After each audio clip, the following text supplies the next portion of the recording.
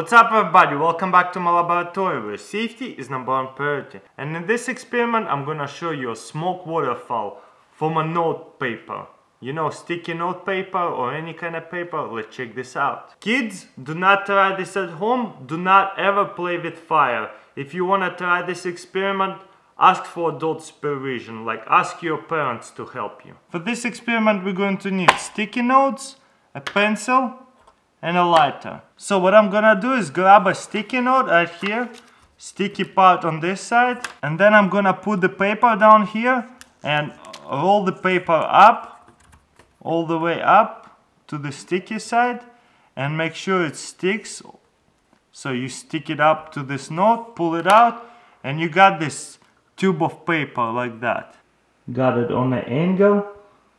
Again, do not try this at home ever.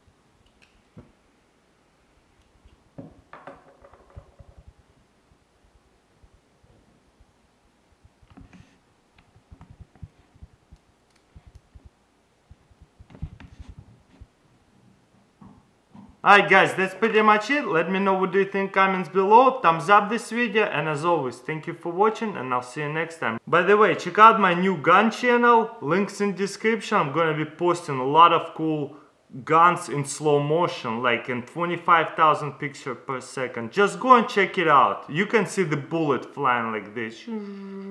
And you should subscribe. Links in description. Thank you and I'll see you next time. And boom but you know let's let's see it again. So all you have to do is grab it by this thing all the way inside and put your elbow down this way and you just like go that way and drop your shot